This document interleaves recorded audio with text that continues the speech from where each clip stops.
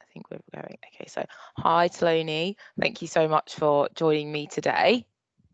Thank you so much. Thanks for having me. I'm so happy to be here, though. So I know I'm excited. I feel like this is a, a long time coming.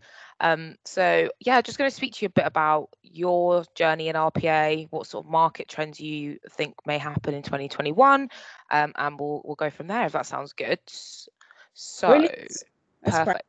Let's go. Let's go. So how how did you first get into RPA? Was it sort of straight after uni, or what, what was your sort of progression to to get to into robotics?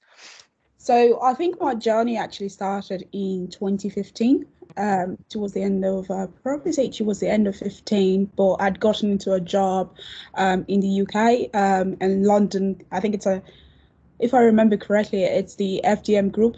Um, Oh, it's yeah. consultancy. Um, so I'd go in, in there to be um, sort of like a software developer um, trained in .NET. Well, prior to that, obviously I have I had a computer science background. Yeah. So I think towards the end of 2015, there was actually a buzz around RPA. It was beginning to gain steam at that point, and even though I'd done my research, it was all closed. Yeah, you pretty much couldn't go into Stack Overflow and look at you know what people are posting or something like that. Yeah.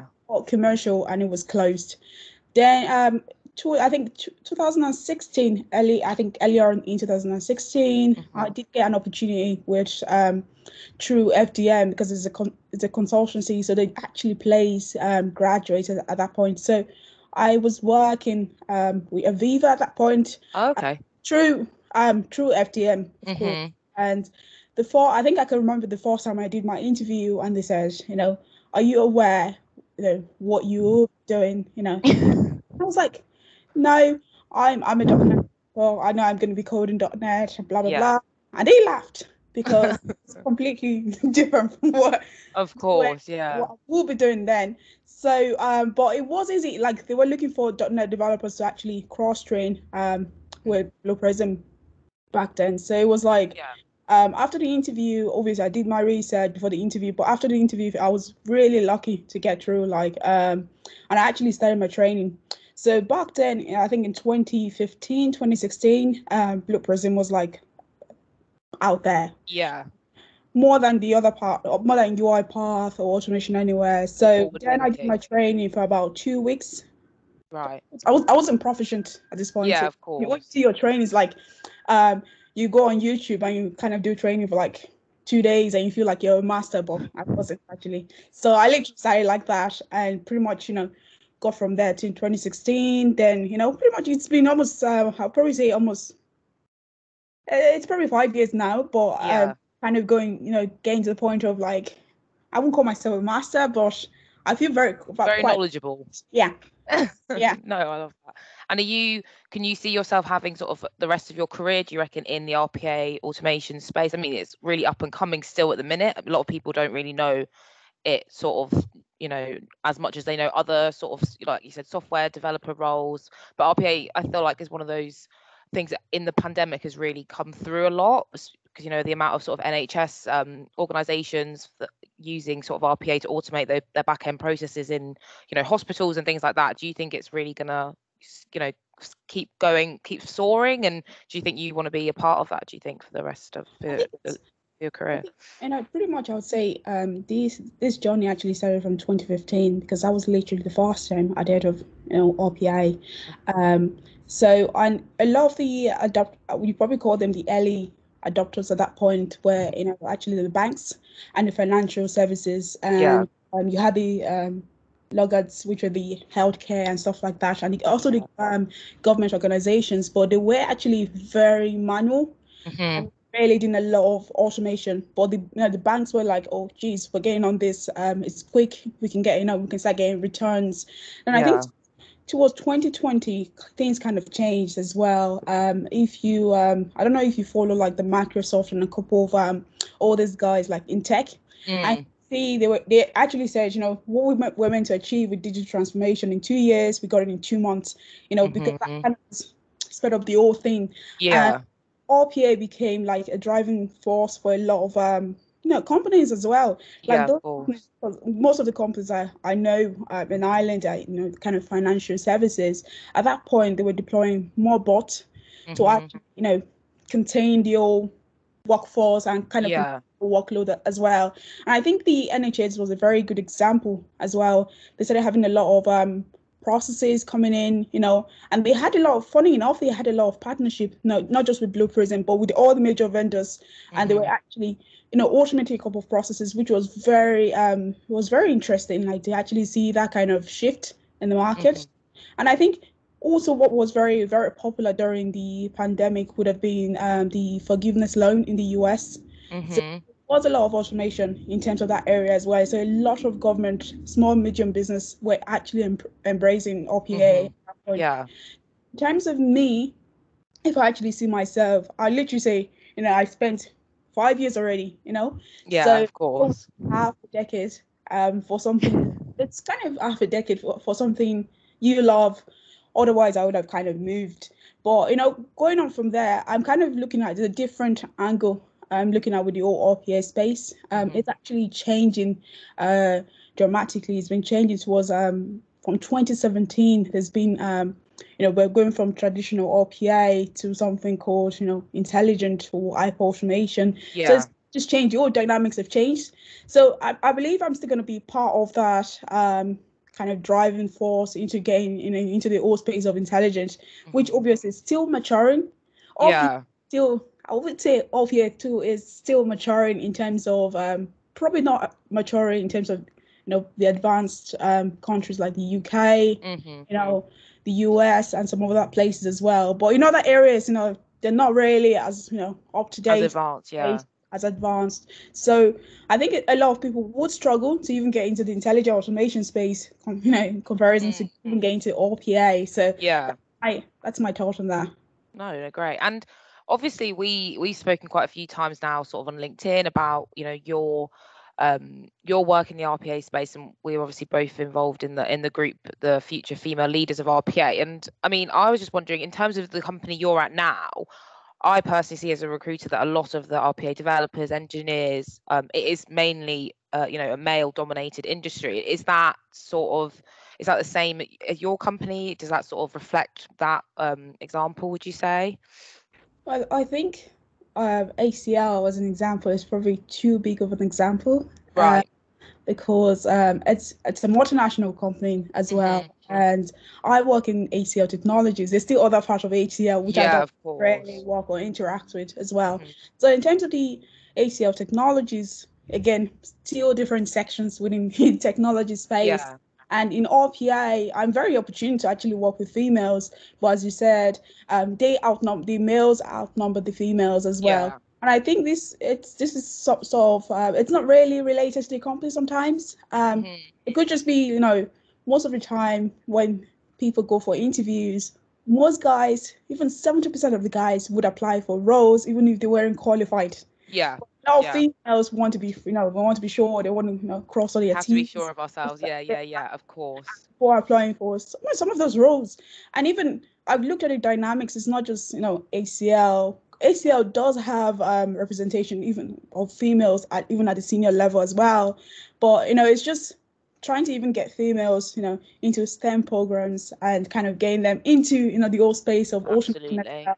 But you would find a lot of females going for roles like business analyst um, Yeah. but not necessarily not a lot for developers and i think it's just Mm. the confidence factor maybe I you know? think you're so right, especially when you say, you know, we all, we do tend to sort of, you know, make sure we've checked off every single box before we've applied for something. We have to be 120% sure of ourselves before before we go, and I think that's definitely that's definitely something I've realised as well.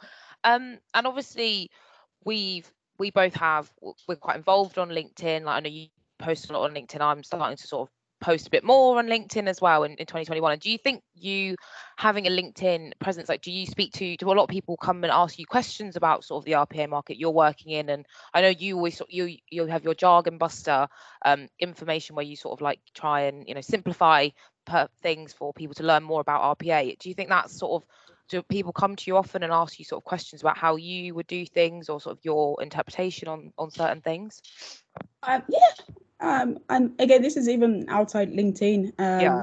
because before just prior to linkedin linkedin kind of kicked off for me um, in 2020 and that was Right. something i started looking more into because of the pandemic you know Yeah. i something else to occupy me and i was like oh i might start looking other forums as well but i'd been on linkedin for a couple of years but then i was focusing on a different um, platform which is Mhm. Quora. So, which was sort of like, you know, questions, answers kind of forum as well. So it Yeah. would be a little bit different from, let's say, like sort of Stack Overflow and stuff like that. But Yeah. again, of written, written text, you know, people asking, you know, about technical and non-technical details as well. And that was something I started again in 2016 when I kind of really got into the whole thing. I started writing more um, on Quora So I did get a lot of, um, you know, I wouldn't say popularity back then, but it was a lot. A lot of people knew me from Quora because it was like, you know, Google would have in Google actually indexes those pages properly, like more, Yeah. more than even LinkedIn. Like, and a lot of people have just, you know, happened to have saw my comment, uh, and because those questions were like, you know, what is RPA? You know, what can RPA do and stuff like Yeah. that. So a lot of people kind of, you know, looked up the comments, they liked the comment, um, kind of started following me on Quora. Then went to my LinkedIn. It was literally a dead end. Do you know? I wasn't, Yeah. I wasn't really doing the old LinkedIn stuff. So it was like you got on there, dead end. Yeah. I got a lot of, you know, when I came back to LinkedIn, I actually saw like 150 um, messages. A lot of people asking me things like, you know, do you want to collaborate on a couple of things? And I was like, actually, I was like, I'm so sorry, I'm not this rude, you know. It's just I don't use this platform at all. No. And pretty much, and I think kind of that was actually the I would probably say that was the origin or probably the journey of the you know the RPA Jargon Buster. Then I Yeah. started started, you know, people already ask me questions about RPA. Um, especially back then, I used to answer a lot of questions about you know Blue Prism. Then at some point, I started answering questions on UiPath, then things in general about different Mm. technology. And I said to myself, you know, I'm actually just you know give myself a new name. Um, Yeah. I give myself a new name. And back then, because I, it was something I was always doing all, all the time, like talking about jargons, talking about simplification and stuff like that. Mhm. And I said, I might as well just give myself a new name, um, the RPA Jargon Buster. And I, I can remember the first day I did it, and I changed my name. I kind of kept it as my, well, middle name. And a lot of people messaged me and they were like, oh, I really liked it. I really like this name. Like, I was like, oh, really? I didn't know people would notice. I, I even changed the name. Do you get what I mean? Yeah. Of And it was like I was like, okay, cool. Um, a lot of people are, you know, seem to notice this name because that's the first thing they see um when they see the name, and they're always Yeah. like me, "What's up with the RPA Jargon Buster? What do you do with this?" And I literally started looking at, you know, these. It's I'm almost like carving a niche for myself. So literally, I was like, okay, maybe I need to start investing in this kind of brand. You know, you know do more with it. Like, Yeah. literally, I was like, I'm gonna do more polls every Monday. No one told me to do that, but I decided I'm gonna do it more polls every Yeah. month. I'm gonna confuse people and ask them, you know, what is this, and see if people actually, you know, vote on. And funny things, that's been really doing very well. Yeah. They do. I do they do polls. well. You do videos and stuff like that, but all all of them are just kind of geared towards education, which is something I'm Mhm. quite passionate about. I'm really interested in trying to get more people into the space, um, as the space is quite small Yeah. in comparison Definitely. to like you know the traditional software development and stuff like that and and there's a lot there's a lot i'm seeing with rpa and some benefit even employees or users can actually you know gain if they actually get into the space For sure, for sure. No, that's great. And I mean, I definitely know what you mean. It is a small, it is a small space compared to, you know, like you said, other sort of software and, and like spaces like that. And it's interesting because I feel like the RPA community on LinkedIn, everyone sort of knows each other. You know, you get the same sort of people you speak to, and it's nice, it's friendly, but you definitely do want to sort of bring it out for sure.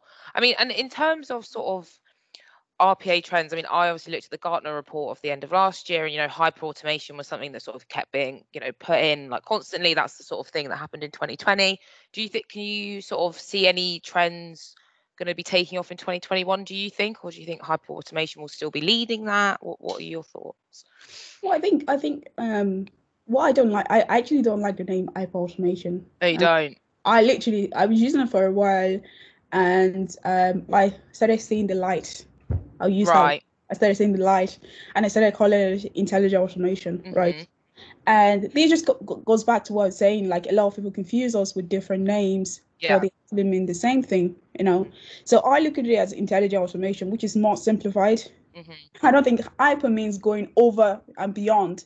Yeah. which in fairness, that's not that's not going to happen. People going over and beyond automation, you know. Mm-hmm. So it, you could probably sure. call it like intelligent automation. I and I kind of look at intelligent automation different kind of light than other people might look at it. I look at it as a sort of amalgamation of a couple of technologies, a lot of approaches as well, and yeah. to kind of get you the end-to-end um, automation.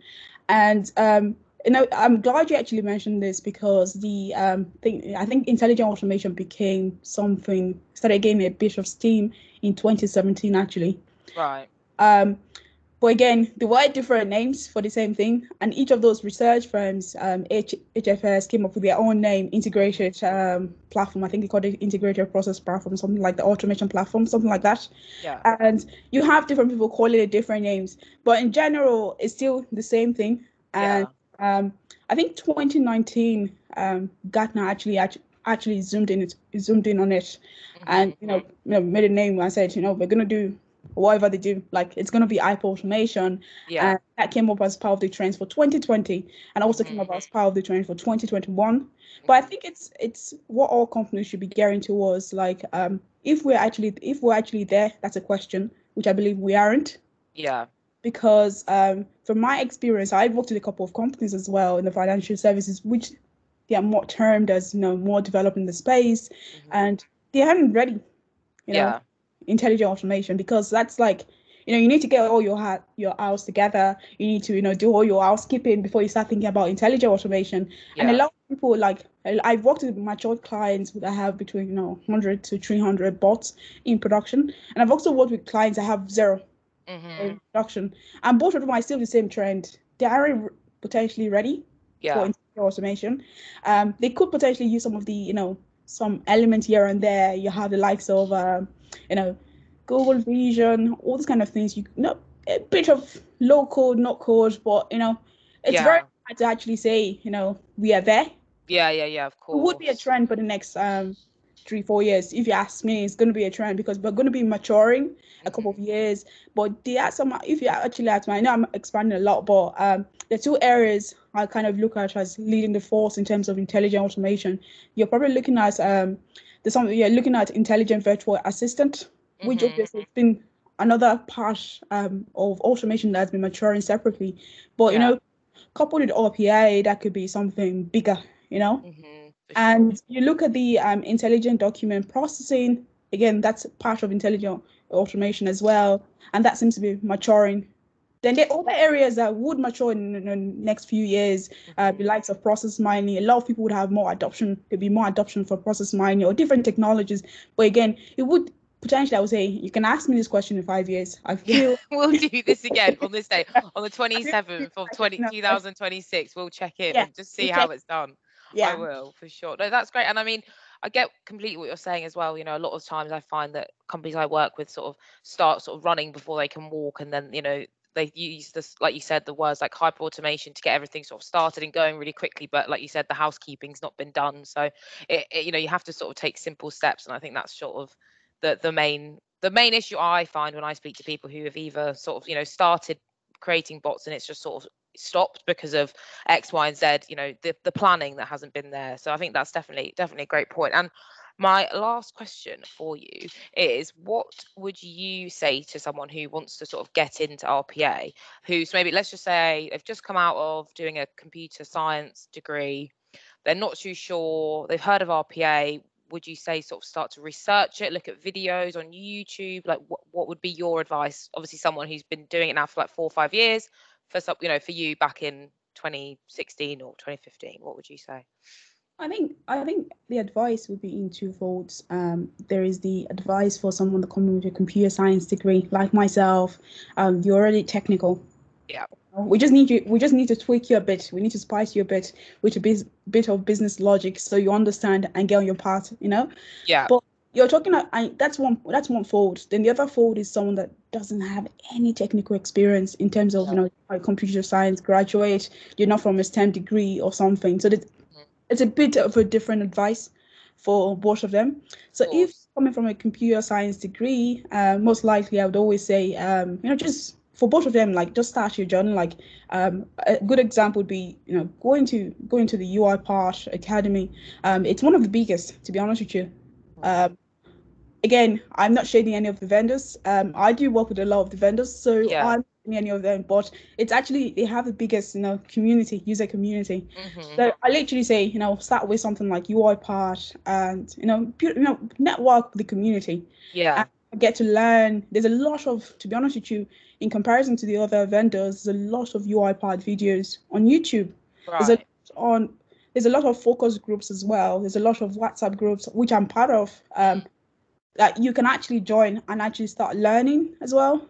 But again, there is that point of you know when you're self learning, it's not the same that when Mhm. you're working with a company as well. Yeah. So again, you're trying to get your technical um i would probably say brush up your technical aspect brushed up like you know excel do all those kind of things um before actually again and that could, could sort, sort of help like you do all those your prep work you know do all the technical stuff before actually getting into a company most likely you could also get certification um Yeah. very handy uh, especially if you're new and you have no experience so that could be very handy and uh, again when you get to a company you're probably going to be learning a lot of soft skills not necessarily Mhm. hard skills which Yeah. is always tell developers as well. It's not always about the hard skills. It's not about I can code. Yeah, we know you can code.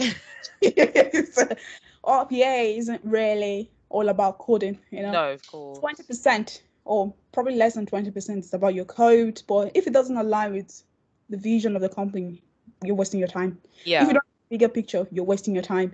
So literally for a technical person, brush up your technical skills. You know, you could learn .NET, you could learn, you know, just learn your Excel, your you know, your Microsoft Office mm-hmm. kind of automation. Try and familiarize yourself with also the, you know, kind of the web, you know, web browsers and stuff like that, and how Yeah. to um web do web automation as well. But for someone from a non-technical background trying to get into RPA, I would also say try and brush up your Microsoft Office because 100%, not 100%, but 90% of what you be automating would have something to do with Excel.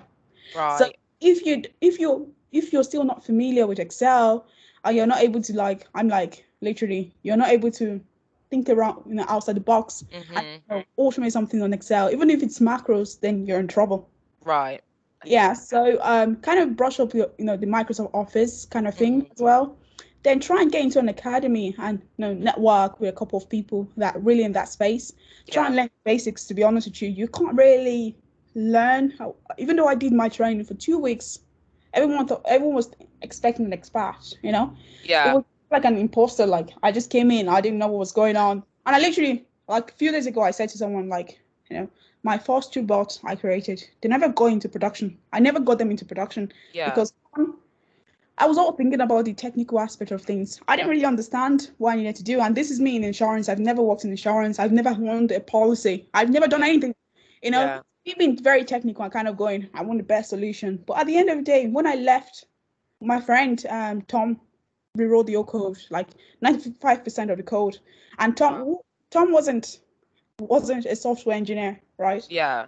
from he had a very business he had worked in the business he was more like a citizen developer but he wrote my old code and that worked 100% compared to myself that i'm very technical and that's how it works like okay Yeah. necessarily about what you code but just understanding how to think logically how to understand your you know business you know the business Yeah. domain you're so it's literally i would advise people as well then kind of just keep on upskilling you know Mhm. get more certification even though certification is not everything but you know keep Keep upskilling working on yourself. yeah keep, keep Yeah. working yourself like yeah I think that's great advice. Well, that's perfect. Well, thank you so much, Tolani, for taking the time to speak to me. And um, yeah, really excited to keep working with you in the future. Thank you so much. See you Thank- later. Thanks so much. Bye. bye Oh.